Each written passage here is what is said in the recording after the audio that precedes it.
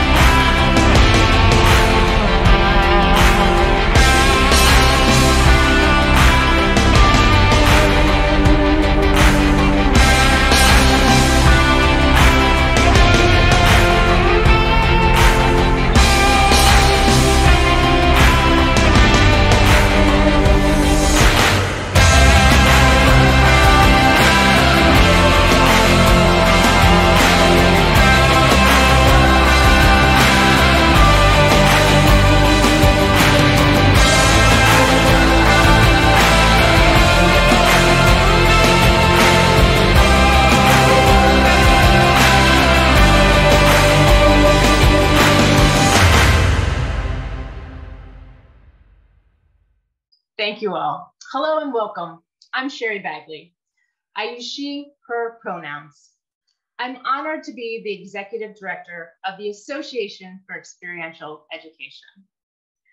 I would like to acknowledge the ancestral and unceded territory of the Masaga, Haudenosaunee, Erie, and Kaskaskia people on which I am learning and working today. I recognize the importance of land acknowledgements to highlight Indigenous people's connection to the land and to recognize how systemic and institutional systems of power have oppressed Indigenous peoples and how that oppression has historically influenced the way non-Indigenous people perceive and interact with Indigenous peoples. This is a starting point, and AE and myself will continue the work of learning about, recognizing, and supporting communities who have been marginalized and oppressed. Here are a few more AE members to acknowledge the land they are on during this conference. Hello, I'm Michelle Cummings with Training Wheels, and I'm so excited to be at the AEE conference with you. I go by she, her pronouns. This is my 26th AEE conference. I'm a past recipient of the Karl Rohnke Creativity Award. This year, I am one of the conference sponsors as well as a workshop presenter and the facilitator of the virtual scavenger hunt that I hope you will join me and lots of other people on. So we are blessed here in Littleton, Colorado to live on the tribal lands of the Ute and the Cheyenne. And also, I also have a farm in Kansas. I'm also a sixth generation farmer in Norton, Kansas, and we are blessed to farm the tribal lands of the Kaw, the Osage, and the Pawnee.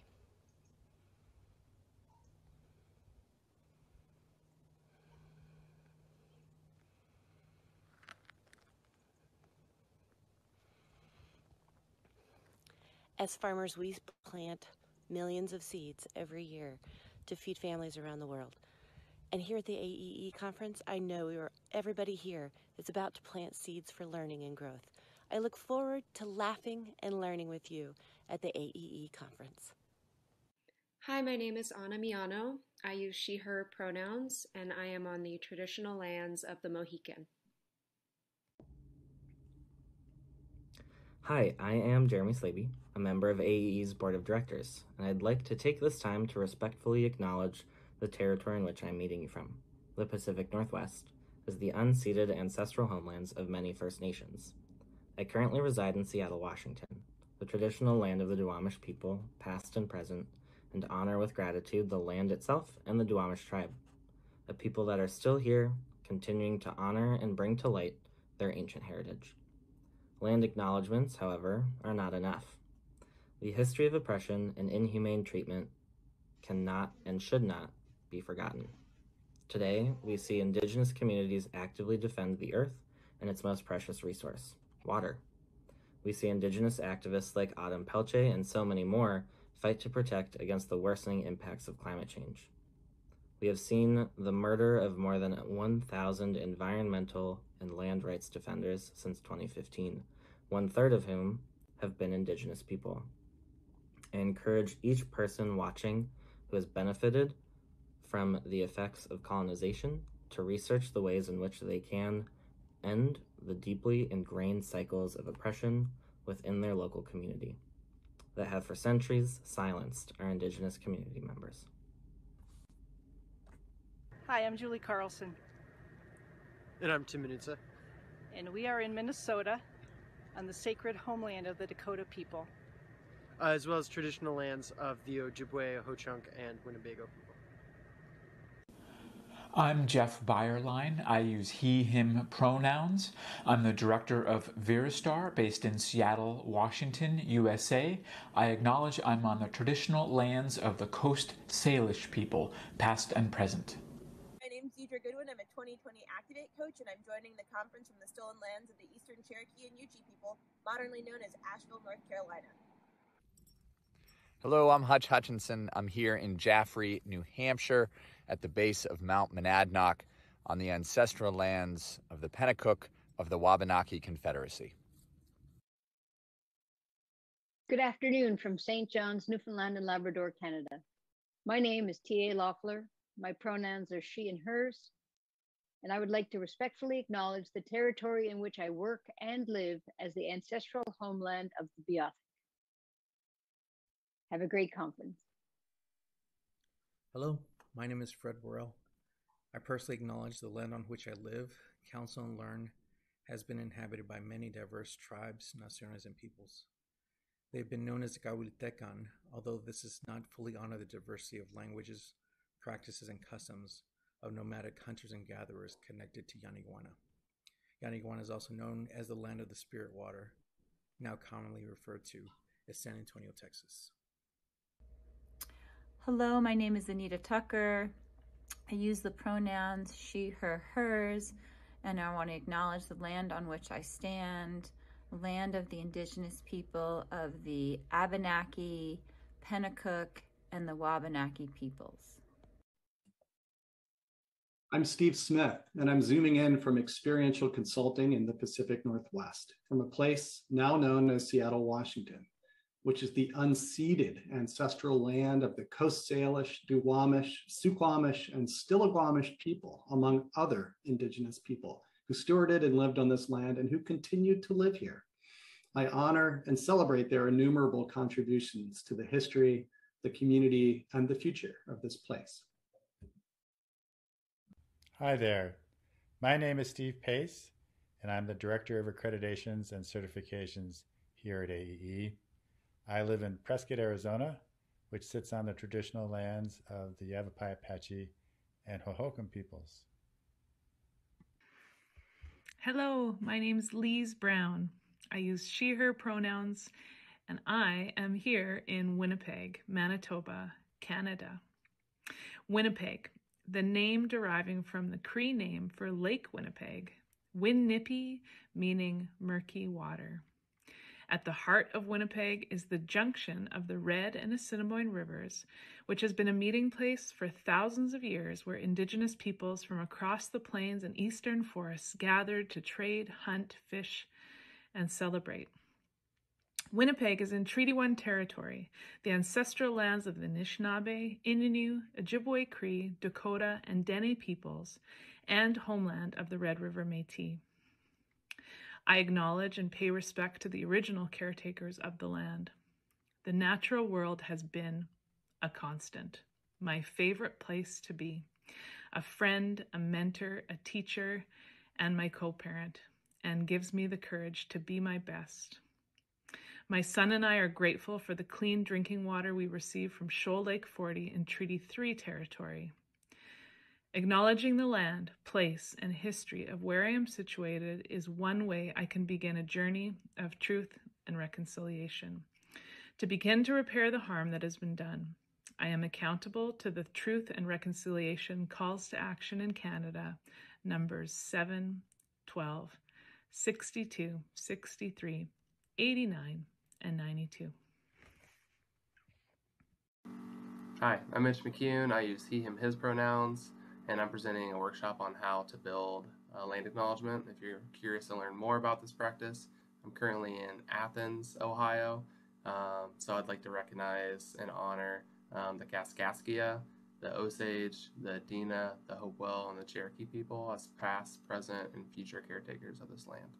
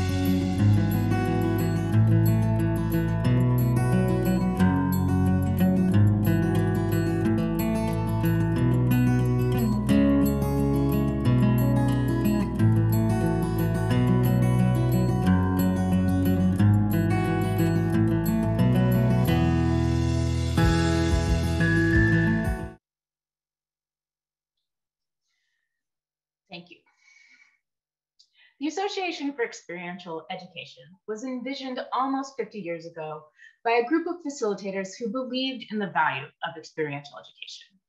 I'm not sure exactly how it happened, but I imagine a group of fresh faced, excited young adults, probably with really long hair and maybe with flowers in it, sitting in a circle under a tree and daydreaming about how they could make the world better through their work. What came out of that session were phone calls on landlines, remember that, and written letters sent via post, so with actual stamps on them. And finally, the incorporation of a nonprofit organization devoted to the global expansion and support of experiential education. From those common roots, we have grown and branched out. We have facilitators, teachers, consultants, professors, therapists, counselors, and more in our membership. We use experiential methods and practices in all different areas of focus. We have nourished our roots and reached for the sky. And today we have the ability and capacity to connect virtually with over 550 individuals from 23 different countries. That vision those young facilitators had is realized in this conference and in you. We are so fortunate to be welcoming so many new people to the AE conference today. And for those of you who are attending for your first time, turn on your microphone if you wish and make some noise. We're so glad to have you here. Go ahead, turn on your microphone. Let's make some Hello. noise. Hey. Hey. Hi. Hi. Jam. And now, uh-huh. if you're not a first timer, come on in with us. Join us. Let's all make some noise together. Let's release a little of this. This great. Miss you. Yeah. Really good. Awesome. Thank you. We want to make sure everyone understands who AE is. And now we're going to show a short video to help explain.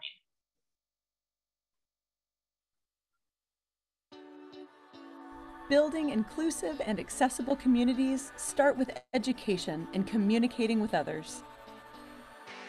We believe learning through experience positively transforms people and our world.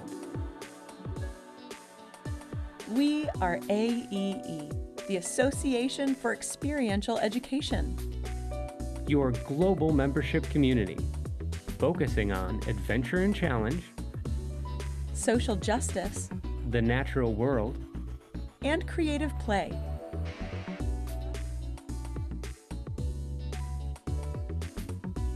We have been dedicated to promoting, defining, developing, and applying the practices of experiential education since 1972.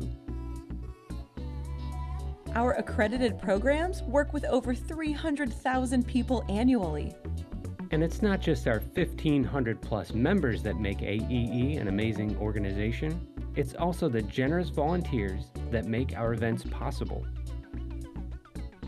AEE offers professional development, Accreditations, community resources, networking, conferences, a career center, virtual learning, and most importantly, connections that last a lifetime.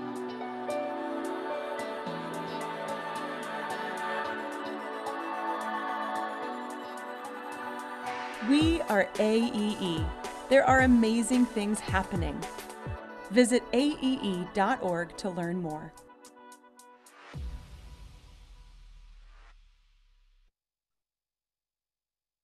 Great. We want to welcome everyone here, not just our first timers, but all of you who have joined us today. The world has been engulfed in a pandemic. People have had significant disruption to their lives. Communities have had unrest. Schools have been upended and changed and then changed again. Many of us have lost loved ones. We are all suffering from the trauma and the stress that the last year and beyond that has brought. And people need us now more than ever. As experiential educators, we have the skills to help heal and repair the problems. Our particular method of facilitating is needed now more than ever. We can help make the world better through our work. So thank you. Thank you for being here, for taking the time to discover, connect, unite, and grow. We have a lot going on in the next few days. I want to make sure you take full advantage of it. First, there's a great tutorial video on how to navigate the conference platform and tips on your dashboard. You can add events to your personal calendar so you don't miss anything. Make sure you realize that events are listed in Eastern time zone, and that might not be the time zone you are in right now. you can find contact information for other attendees through the attendee directory. You can meet up in GatherTown. It's our virtual conferencing platform. Uh, there's a tutorial video for this also. And we have lots of events scheduled in there. And you can also hang out at any time. Right after this, we have our very special tradition, Activate. And following that, in every session, so workshops or keynotes, you can go to gather and appreciate and thank our speakers and ask questions of them and our presenters. You should check out the Symposium on Experiential Education Research, which each session includes presentations from current research and discussion with the researchers. Poster presentations are available for you at any time to take a look at, as well as the Connection Expo, which has opportunities for you to see products, educational and training resources, nonprofits, and all the great people that make up parts of our community. We have a silent auction this year where many of our members have donated amazing things um, services and classes and books, and all the proceeds from that benefit our conference scholarship program. And those scholarships will be given for next year's conference, which is our 50th. And you can find out the location of that conference, which will be in person and will have a virtual component also. But you can find out the location attending our annual general meeting, which is later on this afternoon for those of us in East Coast time. And that is open to everyone and it will let you know how the association is doing. Plus, you can ask me questions then. So please come to the annual general meeting and see what's up with AEE. At the end of each day, we'll have a reflection session, which is open to everyone. Different people are facilitating those. Tomorrow, we have our self-care session with Dr. Bobby Beal and Dr. Mari Lung. So you can take a moment from this time to help yourself and promote being good to ourselves, which is really important right now. The No Man's Land Film Festival is another feature we have, and it's starting off on Friday night, but it will last for 24 hours, making sure to to uh, include all of our time zones. So those are great films and um, you can watch them anytime in that 24 hour period. And then on Saturday, we have our Marina Ewald Kurt Hahn address, which will honor Dr. Yap Min Shum, and our award ceremony will be that night also. And the workshops, so many workshops. We have over 70 available to you live. And if you can't make it, you can always watch them. They'll all be recorded and available to you until January 2022. Whew. A lot of things happening. So you can find all the links to those things on your dashboard. We also had a little glitch this morning um, and hopefully received emails. So if there are any other problems, make sure you check your email. We'll be sending out the links if we have any other issues. And now I'd like to take a moment to thank all the amazing people who have made this event a reality. Our AE staff, Steve Pace. Steve, give us a wave. And Anna Miano, who have just been amazing during this time and are always amazing. Thanks to Callie Amon, our coordinator for volunteers. Callie, can you give us a wave also? And we have so many volunteers that have helped. All of our conference planning committees of all the different pieces, our service crew members and more. So if you're a volunteer, wave your hands. And thanks to the AE Board of Directors to support and guide the organization. And thanks to our exhibitors who have taken the time to share their products and services with us. Again, make sure to check them out in the Connection Expo. And finally, a huge thanks to our sponsors of the event, Sierra Club Military Outdoors, Training Wheels, Fifth Pillar Consulting, Experiential Systems, Inc., Prescott College, College Outside, and Gregory. We hope this conference allows you to feel your roots and stretch your branches. So I'm going to invite you to do that right now. If you want to stand up, that's great. If you want to keep sitting, that's fine too. But go ahead and wiggle your toes and your feet and allow them to dig into the ground that you're standing on or sitting on. Allow them to make a firm base for your body. And now take a deep breath and stretch your torso and lift up your rib cage and allow yourself to branch out with your arms and reach out of your Zoom square and connect with the people next to you. Awesome. Our conference theme is Common Roots, Many Branches. We hope you are able to find your roots and branch out and learn new things.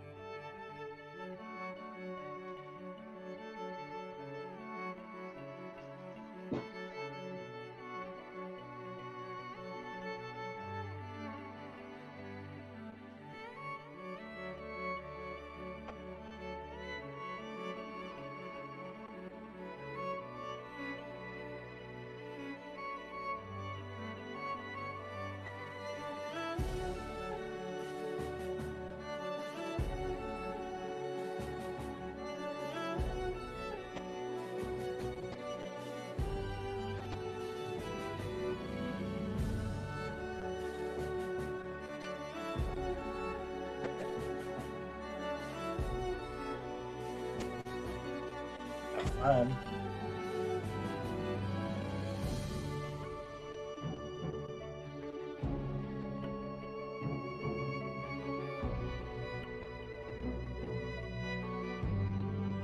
morning, good afternoon, good evening, uh, wherever you are in the world right now. I hope it is good. My name is Hutch Hutchinson, uh, and I'm here to welcome you to Activate 2021 what you're about to experience is more than just a few stories. It is the result of months of coaching, revising, editing, practicing, crying, laughing, and learning. And it is the result of a deep reflection on lives well lived. Activate began in 2013 at the AEE conference in Denver, Colorado, as a way to highlight voices that don't always take the center stage. This is not a keynote, not a presentation of research or the usual suspects whose voices are often privileged when large groups like ours gather. What Activate acknowledges is that all of us have a story to tell. Whether you've been coming to AEE for decades or whether this is your first time around the campfire with us. Activate is really three very different experiences in one. Once selected, the speakers are paired with a coach who's also an Activate alum. And the coaching process is a journey of deep connection and vulnerability as they craft the stories that are about to be shared. The second experience is this collective performance, where these speakers come together to support each other as they put on this event for the conference. But the third experience is what you, as the individuals in the audience, will undergo. These stories aren't sermons. They're not here to moralize or lecture, but many of them will likely resonate with you, inspire you, and in countless unique ways draw you closer to the speaker in those moments when you see your own story in theirs. Storytelling is a powerful tool to build community, even when we're dispersed all over the globe. At the close of this Activate session, we will mingle in GatherTown, and our speakers and coaches will be eager to hear from and connect with you. These are powerful moments of vulnerability and although we can't follow up the session with lots of AEE hugs, we can at least embrace the storytellers here online. And as the next few days go on, remember that every workshop presenter, every participant, everyone you meet has stories like these to share. Maybe even you. And maybe, just maybe, next year, you could be one of the speakers here for Activate 2022. But first, let's begin. Hi, I'm Eric Boggs, and I'm an Activate coach, and I've been honored to bear witness to the growth and transformation of our next speaker. Nada is a 37 year old Indian woman living and working in Vietnam who graduated as a telecommunications engineer. She worked as a software engineer for over 10 years with companies such as Accenture and IBM. She credits her husband for coaching and support in the development of her story. Why are you doing this to me? Screamed every cell, every bone in my body in pain. There I was walking in this beautiful trail in Mount Kanchenjunga National Park in the Greater Himalayas in India, surrounded by rhododendron flowers. And at a certain distance, I can see these stunning ice capped peaks in fact, any direction that I see, it's like a clip from somewhere in the fantasy land from Disney movies. But I could not enjoy any of this. With every step I took, my body was screaming in pain. Walking alone on the trail while everyone else has already reached the camp, all I could think was, gosh, I just want to reach my tent. Slowly, I reached the camp, got into my tent, and burst into tears. When I first signed up for a week long trek in the Himalayas, I thought I was ready for the adventure. I was eager to have some new experiences and have fun meeting new people.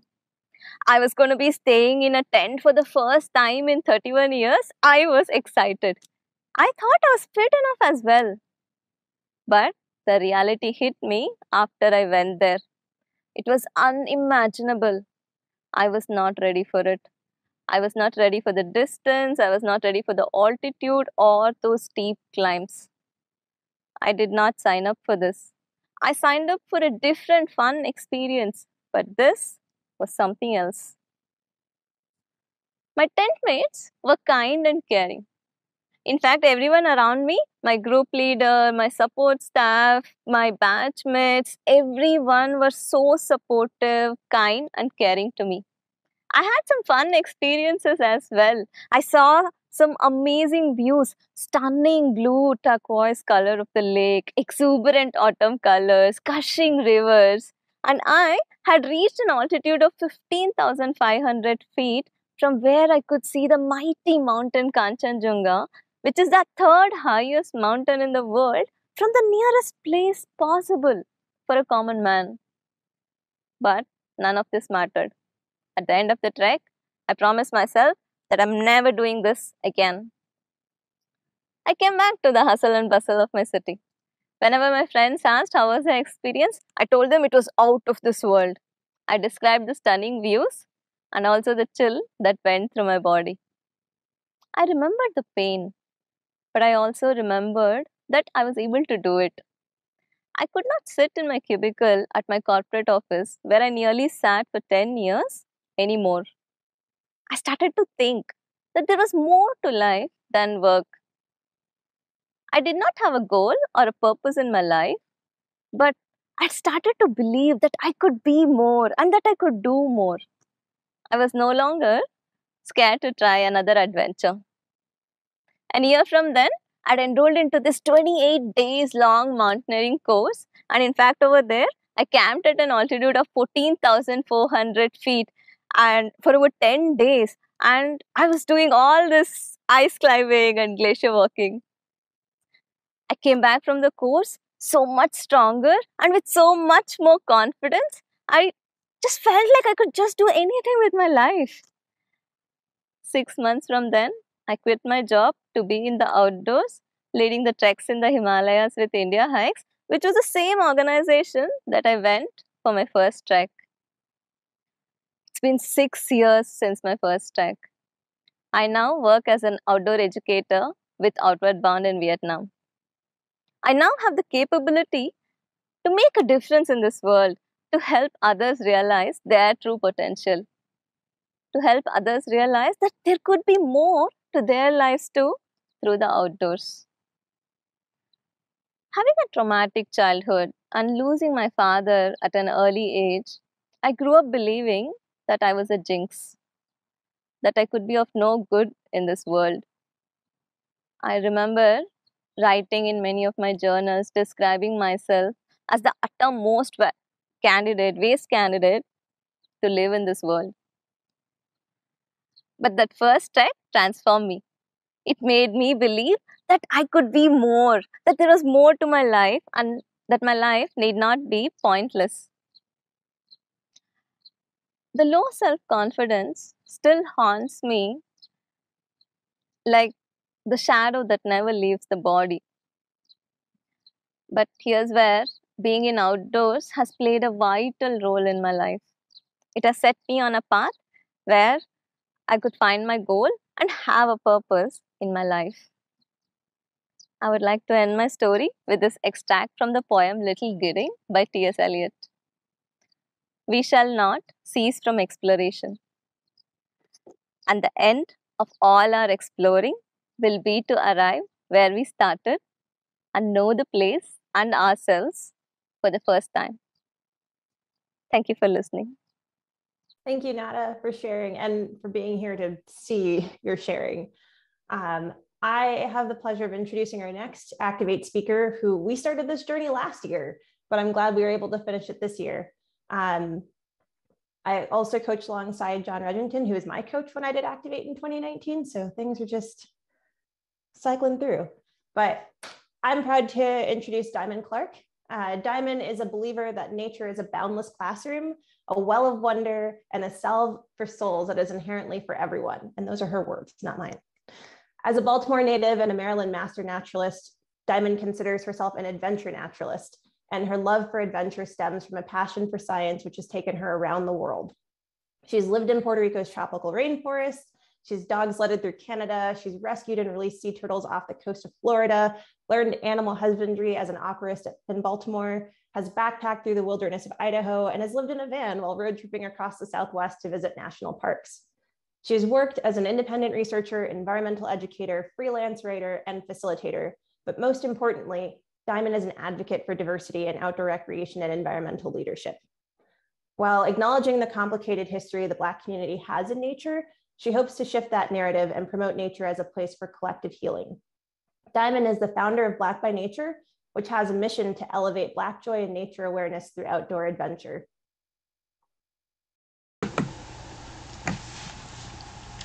Three years ago, I found myself sitting calmly on the top of a mountain. Royal blue glacial lakes glittered below. The ridges of the Sawtooth Mountains outlined in the horizon. And while sitting there, taking in the stillness and the silence, orange butterflies emerged from the grounds around me.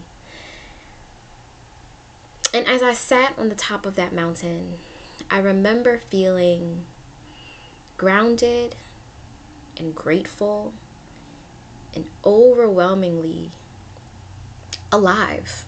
It was the first time that I had ever felt anything like that the feeling of being alive. And just a few weeks later, I landed my dream job. It was a salaried position with great benefits with an agency that I really respected. But when my mother called to hear about my first day, I was on the other end of the phone, like crying, in tears, sobbing. Because just within a few hours of my first day, in my bones, I knew that the opportunity was misaligned and as I cried to my mother, I realized that there was a decision to make. Ignore my feelings and stay in a secure job, or honor my feelings and lean into an unknown.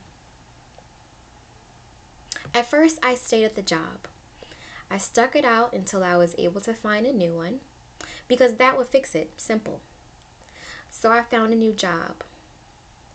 But within months, I realized I was still in a funk and that it was getting worse. So I found another job. And within a few more months, my funk became a depression. And my depression left my immune system vulnerable to the COVID 19 virus. As I'm sure we all did, uh, while we were all sitting at home, especially as I was recovering, I thought a lot about my life and ultimately, I recognized that I was in the same spot, the same fork in the road of the first day of my dream job. I could either ignore my feelings and stay in a secure place, or honor my feelings and lean into the unknown. This time, the answer was simple. I chose the unknown. I left my job in the middle of the pandemic, and instead of finding another one, I gifted myself one year to create a life and career that felt wholly aligned to who I am. And so, in the spirit of adventure, the very first thing that I felt inspired to do was go on a road trip. I drove in a rented camper van from Colorado to California, but it didn't feel real until I got to Utah. After several hours, several hours of navigating with paper maps and several apps, I arrived at a campsite just a few hours before sunset. And so I hopped out of the van and I just stood in the middle of this campsite and slowly turned, scanning the horizon and appreciating how in every direction there was a sight to see. There were multicolored hills, and snow-capped mountains, deep red clay soil, and green brush as far as I could see. And as I stood there, I remembered how it felt to feel grounded and grateful and overwhelmingly alive. For the last 365 days, I have been betting on myself. And on my birthday last month, I celebrated the one year anniversary of making that decision to quit my job. My year of experimenting was very much a hero's journey. I set out on a quest to see what I can make happen for myself. And I learned variable, very valuable lessons along the way. For example, I launched a nonprofit program called Black by Nature with the mission to elevate Black joy and environmental literacy through naturalist training. And I created this program because I saw the gap in opportunity for my community to really engage in environmental education. So I hosted a nine week naturalist training course this summer, and by the end, graduated the first all black class of certified Maryland Master Naturalists, and it was incredible. It was absolutely incredible. And it taught me the importance of showing up as my authentic self and being a beacon for others to join me. But don't get it twisted, the lessons were not all sweet. Because midway through Black by Nature programming, I took on an additional facilitation role that ended with a three week backpacking trip. And as you can imagine, after months of planning and then a few more months of facilitation, by the time I landed in Idaho to walk for weeks, I was already burned out. And to make matters worse, I was not prepared for the thick wildfire smoke that loomed between each mountain chain. From deep exhaustion, spiraling thoughts about climate change, and an inability to breathe, there were days that I just walked and cried as we climbed the next mountain. And unlike the other scenarios, I couldn't just quit this time. There was nowhere for me to go. And I knew better than to ignore my feelings. And so, admittedly, as a leader in this space, I struggled. But I learned the importance of showing vulnerability and the strength in doing so. Because as soon as I let down my emotional guard, it made space for others to do the same. So we commiserated together but we also finished together and bonded in a way that I don't think would have been possible otherwise.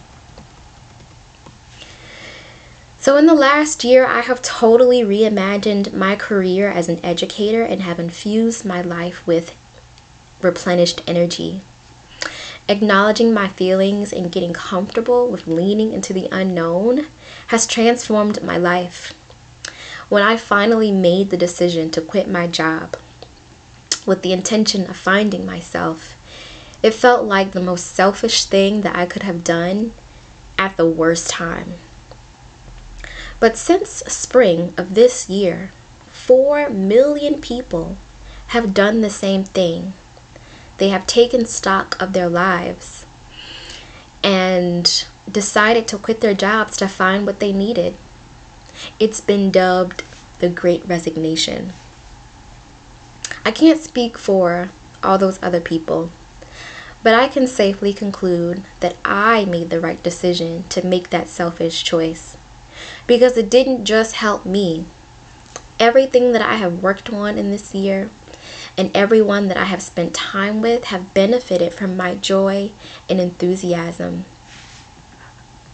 And even if a small fraction of those people that have participated in the great resignation are able to experience anything like I did, of feeling grounded and grateful and overwhelmingly alive, the whole world will be better for it.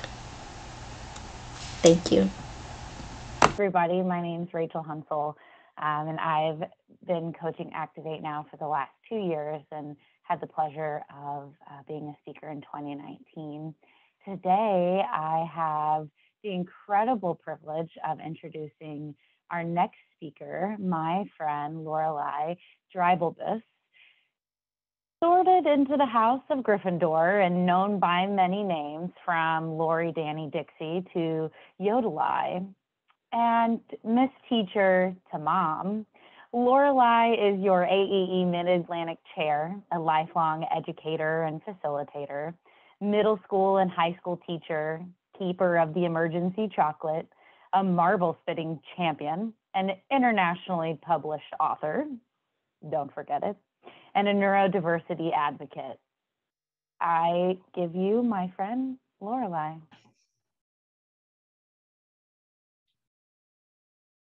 It isn't real until it happens to you, says my father as we're leaving the oncologist. As a Vietnam vet and LA cop, he's given over 30 years to meeting people on their worst day.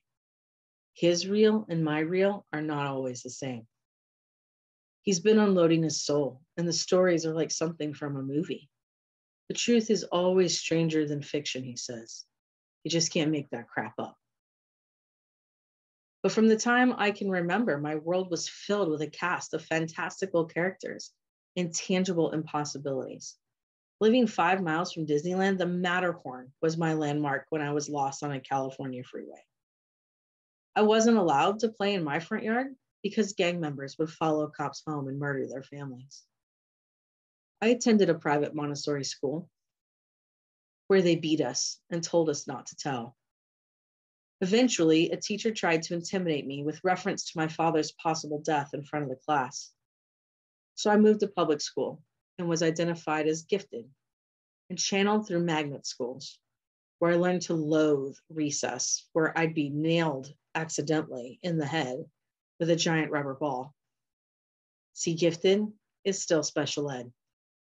And I remember the adults around me confused by the disparity between my capability and my functionality. At a very young age, I became a cowboy action shooter.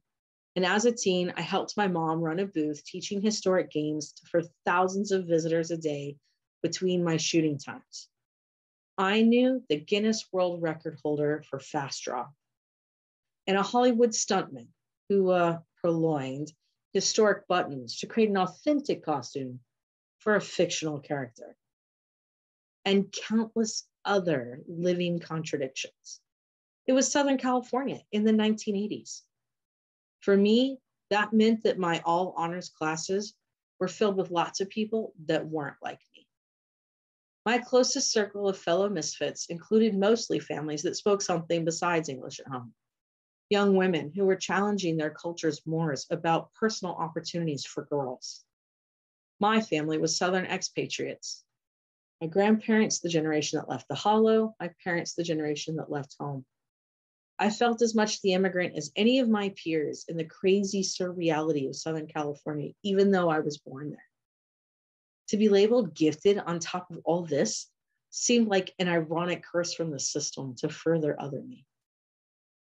My parents did their best to get me access to the experiences that would bring life to life road trips, resident camp, Girl Scout Mariner competitions, national parks, big city museums, all these Dutch uncles and grandmas, my actual grandmas, and oodles of cousins, an old truck with a front seat dog, and professional formal dinners at conferences. All this anachronistic and fantastical living launched my teaching career. While I learned about academic content through Montessori method, I learned people through reenacting and travel. The ability to play make believe with people of all ages opened windows into making the impossible real. It was real. It did happen to me. The use of imagination to build compassion through role playing was something I saw missing in my friends' lives. And I left home just wanting to show the world what was possible but it isn't real until it happens to you. And at one month old, my son died in my hands. And I found myself describing to the ER doctor how I resuscitated him with the booger sucker. Judgy comments from church members and strangers turned into the hardest conversation I've ever had. The only time I've ever seen my father cry was the day he told me how afraid he was that my son's growing communication deficits might mean that the boy would never know just how much we loved him. Like many families, we spent years getting a diagnosis and we landed on autism. The hardest part of hearing an autism diagnosis for your child is not that it's a lifelong, incurable condition, nor that a medical professional gets to define this social disability, nor even the sinking fear that so many possibilities are suddenly seared away by a single word. No, the hardest part is realizing that the most accurate mirror I've ever seen is my child's eyes. What's labeled a pathology in my offspring is in me too. And the age old conflict of nature versus nurture rears its ugly head with accusations because whether my child inherited it from me or learned it from me, the root cause is still me I'm from a long line of academics and PhDs delayed. That wasn't us until it was. As my daughter's auditory processing interfered with her ability to read, the dark family secret of dyslexia became exposed. My grandmother published four books on our family's genealogy. It turns out that fine line between genius and crazy that my friends and I joked about in high school was a lot thinner and a lot closer than I had ever imagined. It quickly became clear that school was not a safe environment physically, emotionally, or academically for my children. So we told the superintendent there was no law requiring us to be victims of the system, and we became homeschoolers. Because, see, I swore I wouldn't teach. Literally, generations of my family have been teachers. We knew the profession for what it was. I knew I'd been teaching through Girl Scouts and cowboy action shooting since I was a kid myself but I was going to get out until I couldn't. I learned the hard way that if I didn't walk through the doors that God opened for me, He'd throw me in through the windows. Teaching, it turns out, is the one thing I can't not do. Classrooms led to camps, and the language and philosophy of experiential method magically connected all the dots around my Girl Scouting, classroom, reenacting, and homeschooling experience. As we further immersed in our journey with autism, the link between sensory experience and function came into focus. See, gifted kids are diagnosed with overexcitabilities and perfectionism. Autistic kids are diagnosed with sensory processing disorder and rigidity. My time spent teaching aquatics, especially lit bulbs, because see, people are not walruses, and water is not our natural element. A child spends years overcoming gravity, finding their legs, and then we throw them in the pool and we take gravity away. It's an even more difficult transition for adults. I discerned through all this one great truth learning can't be bought, bestowed, or even earned. It must be experienced because I get it. I deep down in my soul get it. Cancer, autism, learning to walk again, literally living in the past, fighting to build a future, depression, suicide, the Grand Canyon, the Vegas Strip, the Magic Kingdom, figuring out how to swim. It just isn't real until it happens to you. But my vocation is to introduce learners to new waters, to provide floaties and fins, to empower mermaids. I can't not teach. How do I bring practical manifestation to this great truth? I can't not build relationships. Prepositions matter. I must walk with people, learn from them, teach to them. When we accept that the things we have not experienced are real, we access multiple threads in the tapestry of humanity. I can't not honor sensory truth Behavior is driven by sensory needs and shows us our shared human experience. Every person is legitimately complex, even if they do not yet have access to all the tools to communicate that complexity effectively. I can meet them at the universality of senses. I can't not respect divine timing. Call it zones of proximal development, call it the wisdom of my elders, but I can't speed up the harvest. My teaching and parenting experience drives home that time is not mine. I can't not envision possibility.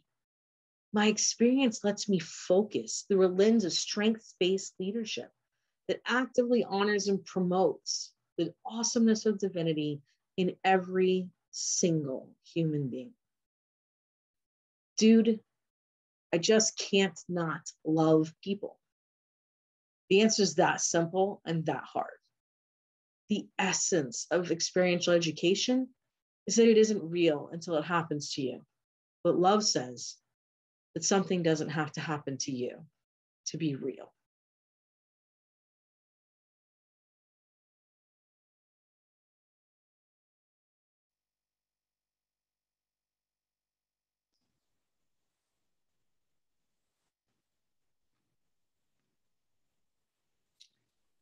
Thank you all so much for this incredible opportunity. Thanks so much, Lorelei. We really appreciate you. Hi, everybody.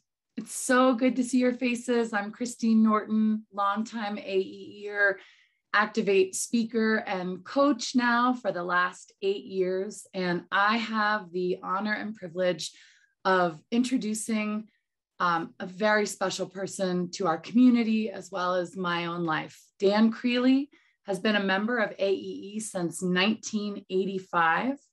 Dan was a professor at Northeastern Illinois University in Chicago for over 35 years, where he taught adventure education and physical education to a diverse group of students. During this time, many of you will remember this, Dan coordinated one of the best conferences ever, the Teachers of Experiential and Adventure Methodology, the TEAM conference, for 20 years. He also co chaired the 1995 AEE conference at Lake Geneva, where a lot of magic began. Dan is a connector, and thanks to his deep listening, his cultural humility, and his openness to the wisdom of our ancestors, Dan has introduced a 900 year old fire to our experiential education community, and he has been keeping this flame alive for decades. Please join me in welcoming Dan Creeley. I walked into a wall of energy I'd never experienced before. I was stunned as if hit by a lightning bolt. I stopped and silently looked around for a minute.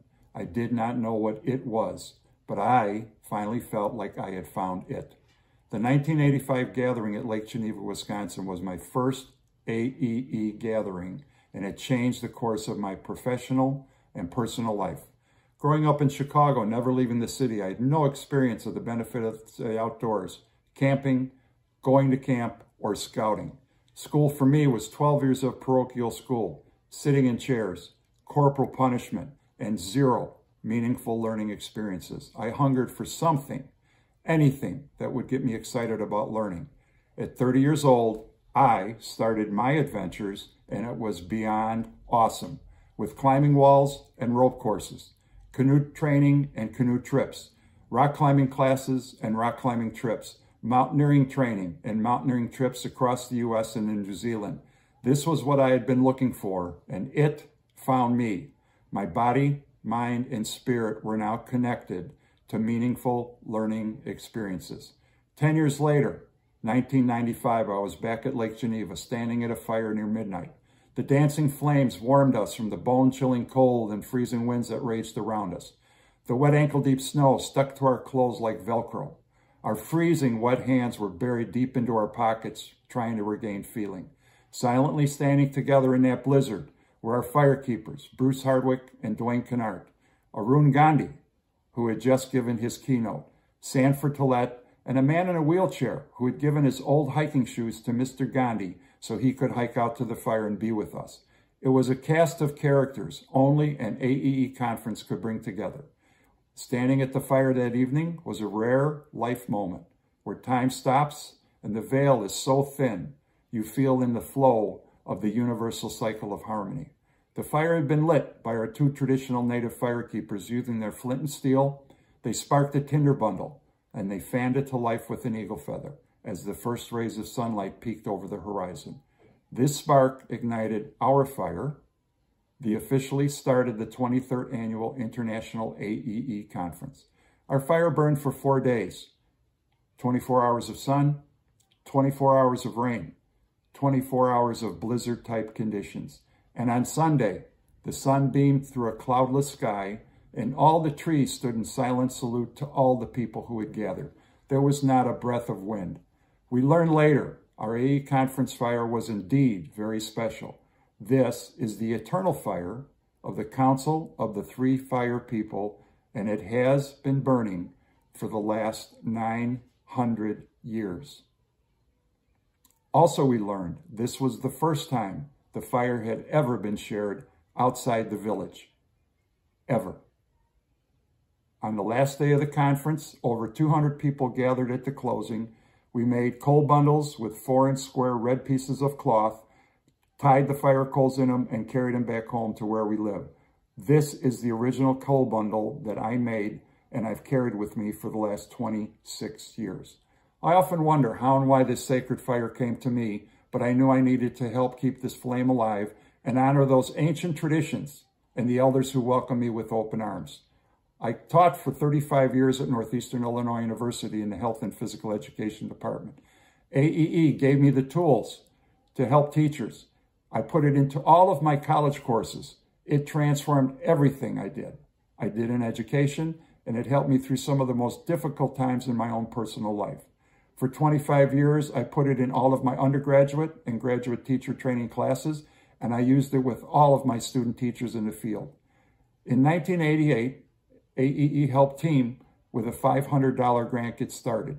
TEAM is an acronym for Teachers of Experiential and Adventure Methodology.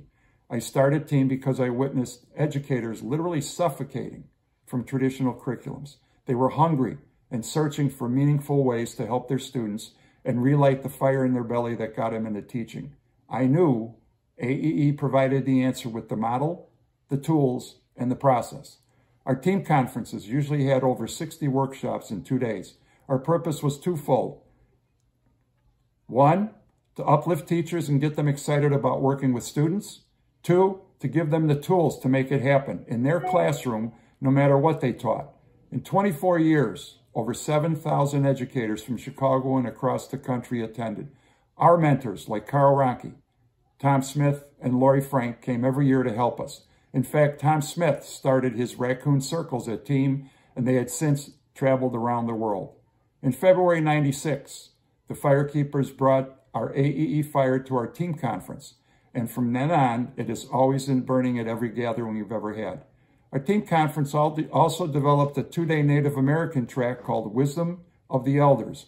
It soon blossomed into a university-wide event the day before team where all the professors and their students came and listened to our speakers. One of the elders, a Cherokee woman, sat and looked at our students and said, my whole life, I've been waiting to see one of our ancient prophecies, the gathering of the rainbow people. It is happening right here at Northeastern, and I never thought it would occur in my lifetime. And with that, she buried her head in her hands and started to cry. Northeastern is a microcosm of the world. We have the most ethnically diverse student body in the Midwest with students from over 100 cultures. And those students over the last 20 years have made 15,000 of these coal bundles, and they have been shared with people all over the world. The firekeepers trusted us at AE and team with their 900-year-old fire. They also gave me permission to carry and share these coal bundles and their story, and I have done that to honor them. The coal bundles have been accepted by people in communities all over the world. Among those who have received the coal bundles are Arun Gandhi, Jane Goodall, Uncle from Greenland, Pope Francis in Rome, and the Dalai Lama. I too have carried these coal bundles in my own life. When my wife Kathy was sick with cancer, the light from this sacred fire showed us the way. When our daughter Molly died, suddenly two years ago, we gathered around the fire to honor her memory and mission. Now, as we help raise Molly's daughter Eliza, our granddaughter, we look to the fire every full moon to ground ourselves and seek guidance. AEE was the catalyst for this sacred fire, and it has been a catalyst ever since for my own personal healing, and professional growth. Our AE conferences connect us to like-minded people with the same purpose and passion. Our gatherings fuel our fire, and we become the coal bundles to carry that spark through a ripple effect back to where we live and work. Now, 36 years later, I realize for me, AEE was like stepping into the fire. I've talked to many of my friends in AEE, and they describe the same exact feeling of that lightning bolt moment. When you're outside looking in, it's hard to understand what we do in AEE. When you're inside looking, when you're uh, inside looking out, it's hard to put into words. Why? It's a feeling. It's a knowing. It's a heart connection to a community of like-minded people you just discovered who speak your language and understand what you were about. It is a family. It is our family. The wonderful thing I learned is we all do it in our own way, with our own programs, and with our own traditions. The common denominator between all of us, all of us, is we are on the path with a heart.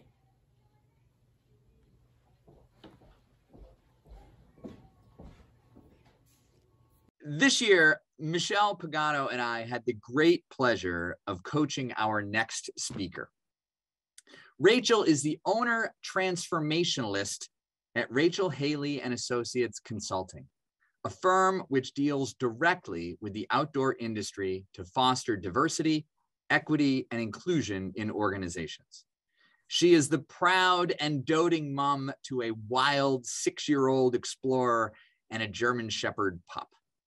She believes that outdoor spaces have a way of teaching us the art of growing back down and creating a true connection with our playful, authentic selves and the oneness of humanity. Please welcome Rachel Haley. May 25th, 1989. It was the last day I knew we would be spending in the city before we moved. No more Fenway Park, no more Citgo sign, no more tall buildings to serve as beacons of all that's familiar. We were moving to the country, whatever that meant. But first things first, I was going to immortalize my city, the great city of Boston. But I was seven at the time and didn't really know what immortalize meant. All I knew is that I didn't want to forget my neighborhood. We lived at the end of a long row house in Roxbury, and my world was a city block and a train station. And I decided before we left that I would make myself a map to remember my roots. So I started out my front stoop, and in this little pink journal, I started to draw first my house, and then the neighbors, and then a long straight line up the road. And then I walked. I hopped down the three steps to the concrete, making sure to step over the crack, not going to break my mama's back today. And I went on my long, arduous journey to the corner store. All the sounds of the city were there, as usual. The wind-swept whispers of air between buildings, the distant honking of a cab or a bus, the shouts of neighborhood buddies playing ball in the street, and of course the ever-present boom, boom, jack, boom, boom, jack, the radio down the street. I went past Miss Martinez's house, the Rack Boys place, and even all the way down the street to Eileen's corner store. See, Eileen's was the kind of place we hung out. And at seven years old, it was just understood that everyone had my back. You see, everyone looked like me. You know, my community, my family was black, was brown, was everyone. And I reached my hand way down into that murky green pickle jar and I scored the best and biggest dill pickle I could. Provisions for the long walk home around the remainder of the block. All the while, I kept track of where I was Sussex to Tremont, Tremont to Ruggles, and Ruggles back to Sussex again. The streets like old familiar friends. The next day, we spent hours in the car. Really, it was just 40 minutes or so, but I was seven and I didn't know that. And we finally got to Middleborough. So I tumbled out of the car in a heap of limbs and excitement and proudly shouted, We're here! My brother was not amused. Shh, don't yell like that, he said. Your voice carries out here.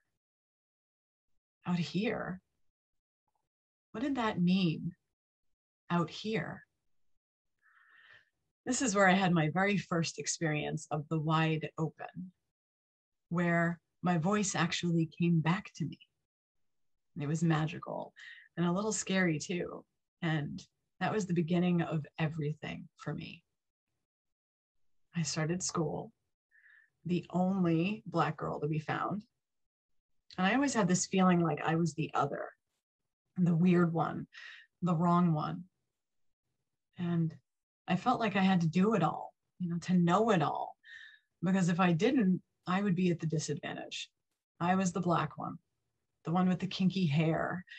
Kids in my class would whisper, Black, like it was some kind of swear. They would ask me, why I had banana lips, or what was up with my hair, or say my skin looked funny. And I spent my days and nights getting smaller and smaller and quieter and quieter. And I withdrew because in all of that noise, in my own silence, I was safe. I was invisible until summer camp. My mom took a job as a camp counselor, and it was at this hallowed YMCA camp called Camp Yomechas that I finally, in a sea of white faces, found my way. His name was Neil, and he was the ropes instructor. Now, he was Cape Verdean, so not quite my same type of brown, but close enough. He looked like me. He talked like me. And he climbed stuff too. I was in. And from that day on, every Thursday, I knew exactly where I would be among the dusky pines, trampling packed earth beneath my feet, on those well trodden paths leading to tall trees, singing campy cadence songs. I said a boom, chicka boom. I said a boom, chicka rocka, chicka rocka, chicka boom. I would be on the ropes course with Neil. And for a while, I even thought I was in love with Neil. but really, it was the freedom. It was the freedom I felt with him and on that course, the freedom to be whoever I wanted. And way up high, I couldn't hear all the noise about who people thought I was supposed to be. The funny thing was, up there, I was safe. I had my community. That little girl finally found her family at camp. And here we are now. That little girl still looking for her community, her safety, her belonging. And I find it here in this space, in AEE, in consulting, in the discomfort of creating spaces of change. And as scary as it is, I am always on my edge, way out there on those skinny branches of transformation.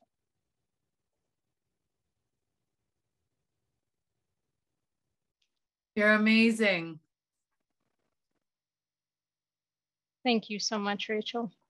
That was beautiful. Thank you, thank you, thank you. I like was holding back tears here and there, and um, yeah, thank you.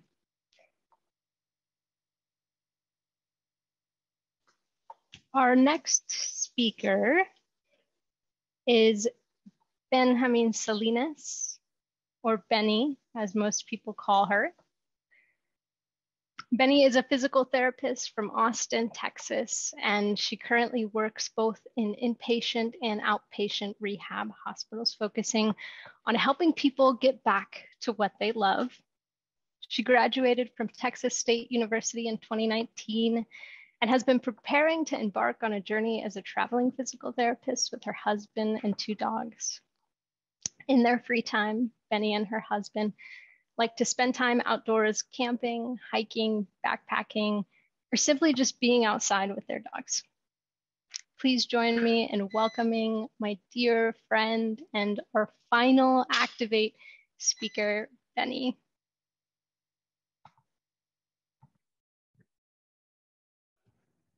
As I sit on the front porch, I can see my father's truck racing down the road.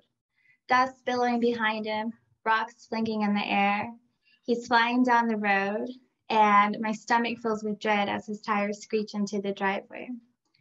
What I know about my dad is that he's very careful with cars. So to see him be so reckless, I know that this is not going to be good. As he gets out, he slams the door behind him and instantly starts yelling. I can't hear what he is saying, but I get a sinking feeling that something bad is about to happen. This would end up being one of my father's many explosive episodes. And afterwards, I walk past the old and sagging workshop, the rows of turkey houses, and into the woods. This is my safe place, my escape. This abuse went on for years to the point where my sister and I drew up a makeshift plan to run away. We were crossing our fingers that our brother would give us money with no questions asked, and we were going to hitchhike our way to who knows where. This was clearly a poor plan. And by the next spring, there was no need for a runaway plan. CPS had picked us up from school, and we were now foster care kids. Over the next several years, I used academic achievement to cope with my trauma. I worked hard in high school to get into college. Then I worked hard in college to be a competitive candidate for a doctoral PT program. And I accomplished my goal.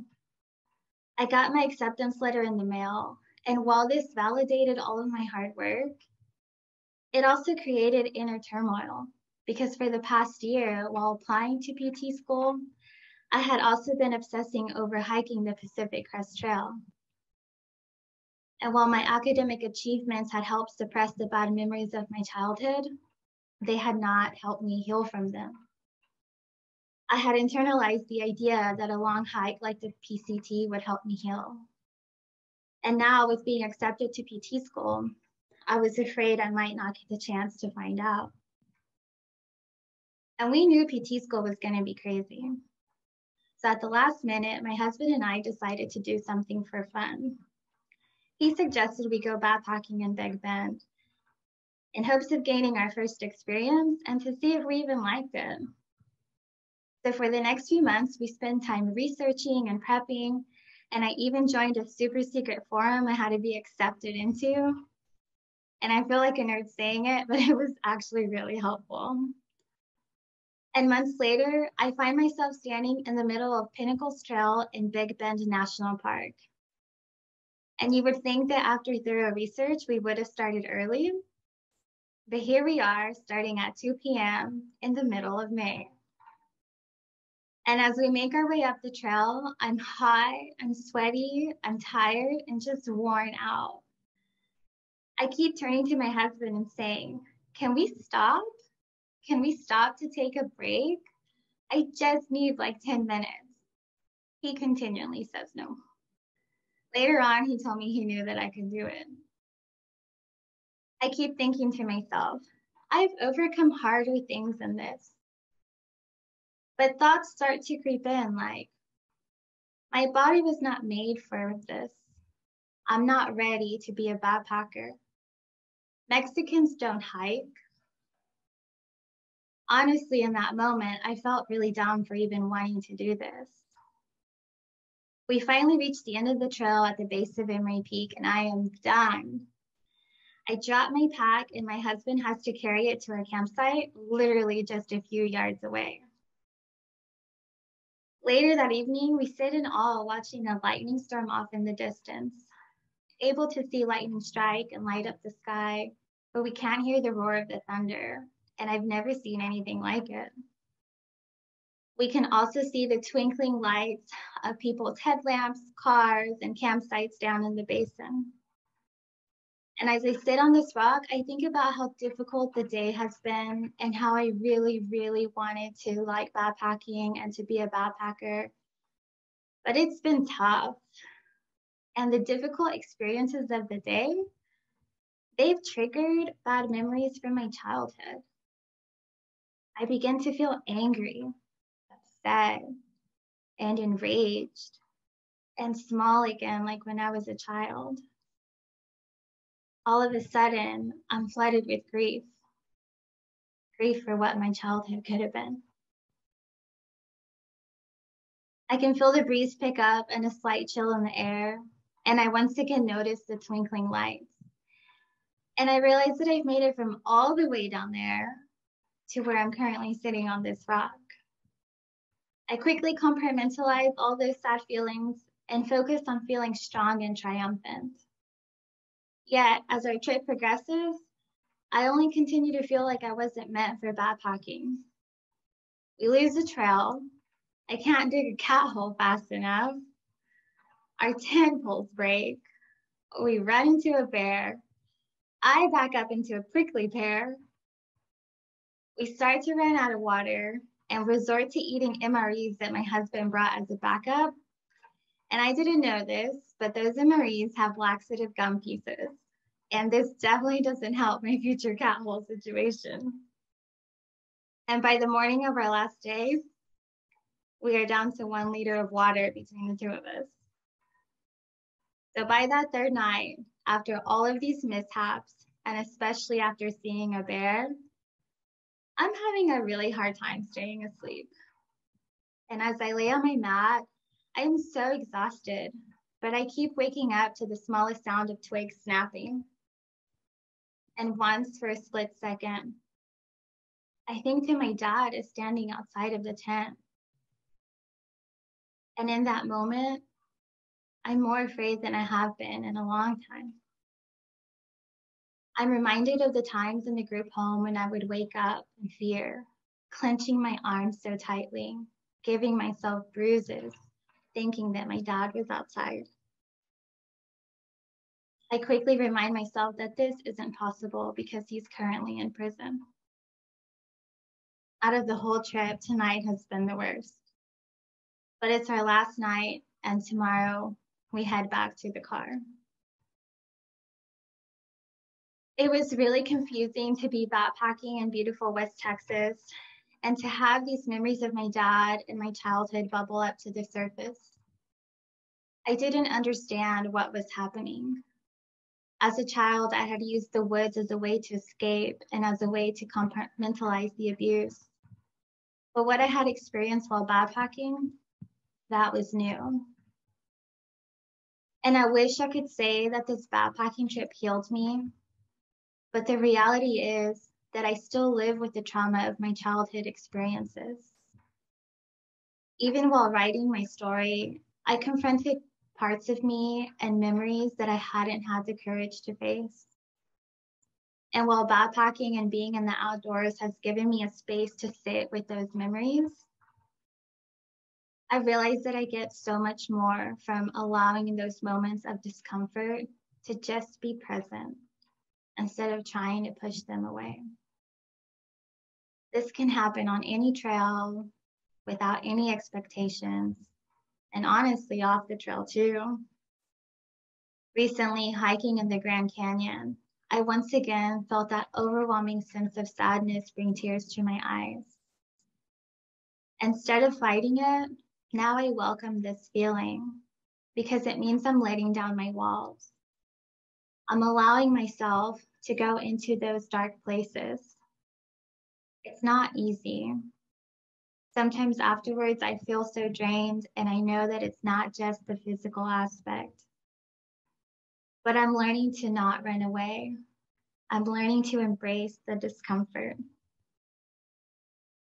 On every one of my hikes, I always stop to take in the sounds, smells, and a mental snapshot of where I am. I close my eyes, inhale on a count of 10, and intentionally release a piece of me behind as I exhale. I like to think that over time, I will have released all the negativity. Oh, I don't know how I always end up having to close this thing because I'm always crying. You know, just as important as storytelling is story listening. So I want us all just to take a deep breath, maybe even put your hand on your own heart and let the words um, of vulnerability, of courage, um, just settle in your heart for a, for a minute. I can feel my heart pounding. Thank you to all of our ActivatEE speakers. Thank you to all of our ActivatEE coaches. Thank you to AEE for believing in elevating many voices in our community. If you notice, all of these stories create space for more stories. That's how you know a community is healthy. It's when there's not that space that we need to worry. So let's keep creating space for more stories. Through this event, through our time together during the conference, through the courageous conversations we need to keep having as an experiential education community. In a minute, I'm going to bring each speaker back and highlight a nugget of their talk.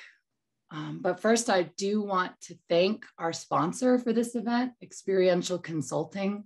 It means a lot to actually have support and backing for this.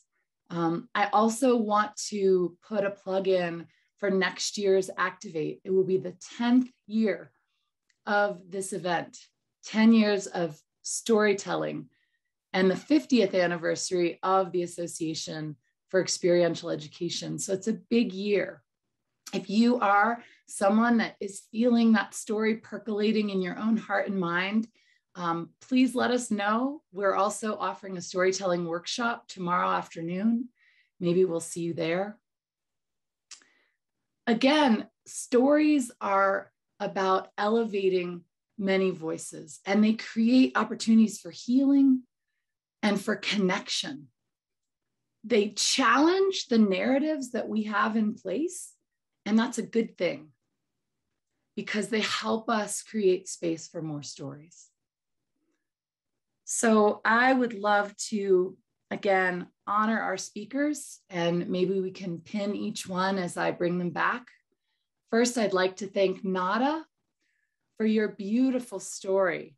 I felt like I was there on your trek with you in the Himalayas.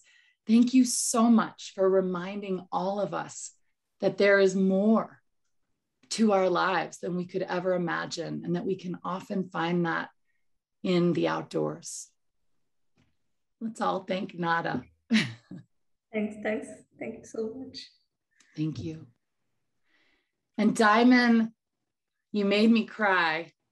You reminded us to show up as our authentic selves, to honor our feelings and lean into the unknown and elevate Black joy in nature. Thank, Thank you. you, Christine. Thank you, ActivatEE. Amazing. Laura Lorelei, empower of mermaids. Beautiful. Thank you for reminding us to shift our lens from pathology to strengths, from judgment to love, to create more space for learning by doing for all people. Thank you so much for your stories. Thank you. Dan Creeley, Dan the man. Oh, so much history that you bring to this event. Thank you for reminding us that we are all on a path with a heart together. Thank you. Thank you for being here. Rachel, thank you for sharing really painful and beautiful memories of your childhood that all of us need to hear. Thank you for reminding us that representation matters in our work. And thank you for reminding us to step out on that skinny little branch of transformation. Even when it feels like it's going to break, we got to do it. And finally, to Benni, who is so near and dear to my heart. Your talk will transform how we practice outdoor experiential education and help us have a trauma informed lens to be very curious about our participants' experiences and all they bring into the outdoors. And you reminded us to sit with that discomfort, not just sit with it, but embrace it. And we are so grateful for that. So, AEE family, community, please join me in thanking and celebrating our 2021 ActivatEE speakers. Woo! Unmute yourselves. Great job, everyone. Amazing. Thank you. Thank you so much. Thank you so much. Thank you so, much. Thank you. Thank you.